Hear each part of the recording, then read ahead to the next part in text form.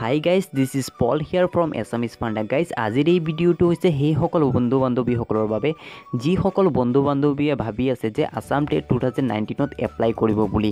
Guys বৰ্তমানে অসমৰ YouTube জগতত বহুত ট্ৰেণ্ডত চলি আছে কেইটামান ভিডিঅ' আছাম টেটৰ ৰিলেটেড যিটো হৈছে একেবাৰে ফেক যিবোৰ ফেক কথা সেইবোৰ ফেক এটা ভিডিঅ' বনাই আপলোড কৰি আছে কিছুমান ইউটিউবাৰে মই সকলো ইউটিউবাৰৰ কথা কোৱা নাই। আমাৰ অসমৰ বেছিভাগ ইউটিউবাৰেই জেনুইন হয়, কিন্তু কিছুমান ইউটিউবাৰ আছে যিসকল ফেক কেৱল মাত্ৰ সিহঁতৰ ভিউৱাৰ্ছ লাগে, সেইকাৰণে সেইসকলে ফেক নিউজ ফেক নিউজৰ ভিডিঅ' বনায় আৰু আপলোড কৰে। গাইজ এইসকলৰ পৰা আপোনালোকে বিৰত থাকিব আৰু যিসকল জেনুইন ইউটিউবাৰ হয়, সেইসকলক প্লিজ ছাপোৰ্ট কৰিব। আৰু কেৱল মাত্ৰ ফেচবুকত নহয় ফেচবুক চৰি কেৱল মাত্ৰ ইউটিউবত নহয়, বৰ্তমানে ফেচবুকতো এনেকুৱা ভুৱা বাতৰি প্ৰকাশ হৈ আছে। মই আজি ৰাতিপুৱা যেতিয়া মোৰ ফেচবুক এপটো অ'পেন কৰিছোঁ তেতিয়া মই এটা পষ্ট দেখিছোঁ যে আছাম টেটত এপ্লাই কৰিবৰ বাবে কোৱালিফিকেশ্যন লাগিব জাষ্ট মেট্ৰিক পাছ বোলে। কেৱল মাত্ৰ মেট্ৰিক পাছ কৰি যদি কোনোবাই আছাম টেটত বহিব পাৰে তেনেহ'লে মই যিসকল মানে যিসকলে মানে এনেকুৱা পষ্ট কৰিছে, সেইসকলক মই সুধিব বিচাৰোঁ, যদি মানুহে কেৱল মাত্ৰ মেট্ৰিক পাছ কৰি যদি আছাম টেটত বহিব পাৰে, তেনেহ'লে মানুহে ইমান টকা খৰচ কৰি কিয় ডি এল এড কৰি আছে বা বি এড কৰি আছে? মই এটাই প্ৰশ্ন, কিয় এনেকুৱা আপোনালোকে ভুৱা বাতৰি প্ৰকাশ কৰে আৰু এই ভুৱা বাতৰিৰ পৰা আপোনালোকৰ কি লাভ হয়? মই কেৱল মাত্ৰ ফেচবুকৰ কথা কোৱা নাই আৰু ইউটিউবাৰৰ কথাও কোৱা নাই। মই সকলোকে কৈ আছোঁ, যিসকলে এই ভুৱা বাতৰি প্ৰকাশৰ লগত জড়িত। মানে যিসকলে ভিডিঅ'টো নবনায়, কিন্তু পষ্টো নকৰে, কিন্তু শ্বেয়াৰ কৰে, যিবোৰ ফেক অলপ অলপ মাথা খাটাব লাগে। কাৰণ আপোনালোকে শিক্ষিত মানুহ, আপোনালোকে যিহেতু এই ভিডিঅ'টো চাই আছে, নিশ্চয় আপোনালোকে শিক্ষিত মানুহ। ইয়াৰ মাজত কেইজনমান কেইটামান মানুহ এনেকুৱা ওলাব, যিসকলে ফেক মানে নিউজক বিশ্বাস কৰে আৰু এইবোৰ শ্বেয়াৰ কৰে। মই সকলোৰ কথা কোৱা নাই, যিসকলে শিক্ষিত, যিসকলে নিজৰ ক্ষমতাৰে নিজৰ মগজৰ ক্ষমতাৰে সঁচা মিছা মানে বাচিব পাৰে সেইসকলৰ কথা কোৱা নাই। যিসকলে এইবোৰ মানে সঁচা মিছাটো বিচাৰি ওলাব নোৱাৰে সেইসকলৰ কথা কৈ আছোঁ। প্লিজ এইবোৰ নকৰিব।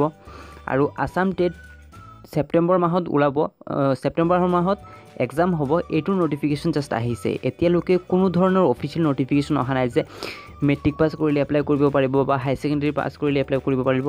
কোনো এতিয়ালৈকে নটিফিকেশ্যন অহা নাই। যেতিয়া আপোনাৰ নটিফিকেশ্যনটো অফিচিয়েল নটিফিকেশ্যনটো আহি যাব তেতিয়া আপোনালোকে গম পাই যাব যে কেতিয়াৰ পৰা এপ্লাই আৰম্ভ হ'ব এপ্লাই কৰাৰ লাষ্ট ডেট কি প্লাছ কেইটা পষ্ট খালী হৈছে ইয়াৰ বাবে কোৱালিফিকেশ্যন কি লাগিব হাই ছেকেণ্ডেৰী পাছ কৰিলেই হ'বনে ডি এল এডো লাগিব গোটেই ডিটেইলছ আপুনি এই অফিচিয়েল নটিফিকেশ্যনত পাই যাব। গতিকে এইবোৰ ভুৱা বাতৰিৰ প্ৰভাৱত প্ৰভাৱিত নহ'ব জাষ্ট ৱেইট কৰক অফিচিয়েল নটিফিকেশ্যন অহালৈকে। অফিচিয়েল নটিফিকেশ্যনত আপোনালোকে এ টু জেড ডিটেইলছ পাই যাব। এই ভিডিঅ'টো সেইকাৰণে বনাইছোঁ যে আপোনালোকে ৰিয়েলিটিৰ লগত পৰিচয় হওক যিটো ফেক মানুহ আছে নহয় ফেকৰ পৰা আঁতৰি থাকক আৰু যিবোৰ জেনুইন ইউটিউবাৰ আছে সেইসকলক ছাপোৰ্ট কৰক।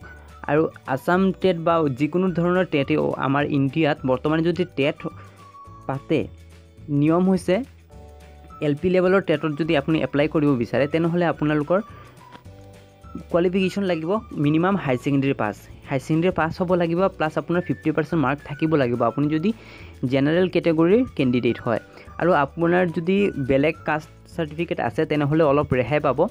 আৰু নিয়ম অনু- অনুসৰি এল পি লেভেলৰ টেটৰ বাবে ডি এল এড অনিবাৰ্য।